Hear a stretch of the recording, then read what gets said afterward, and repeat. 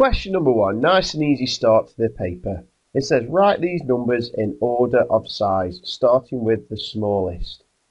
So we've got 901, 1091, 910, 109, 190.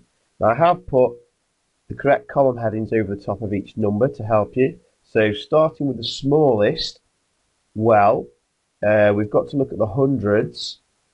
So 901, this one's going to be the biggest one because that's the only one that goes into thousands. So the smallest hundreds are these ones with 100 and 100 here. So which is smaller out of these two? Well, it's going to be 109. So we cross off once you've done it. Then we've got 190.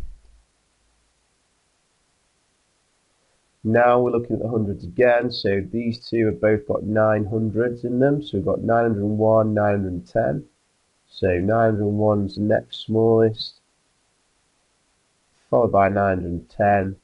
And this one is the only one that goes into thousands. We've got 1091. So this one must be the biggest. It's the only four digit number